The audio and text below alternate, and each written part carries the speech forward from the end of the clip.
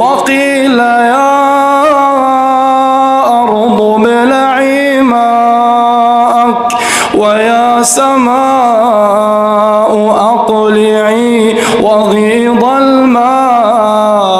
وقضي الأمر واستوت على الجود وقيل بعدا